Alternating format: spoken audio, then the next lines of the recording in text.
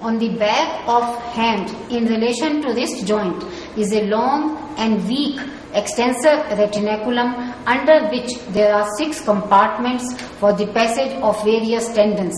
These have been done with the radius bone.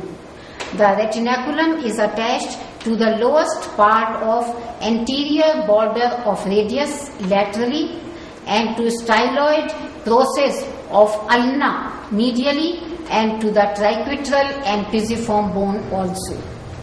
Superficial to extensor retinaculum runs the cephalic vein.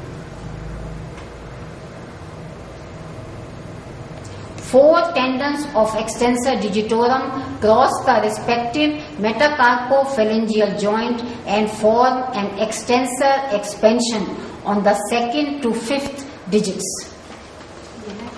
The dorsal digital expansion of right middle finger.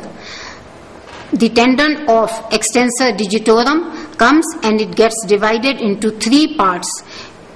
The middle one gets inserted into the dorsum of base of the middle phalanx and the two side ones are getting inserted into dorsum of bases or base of the distal phalanx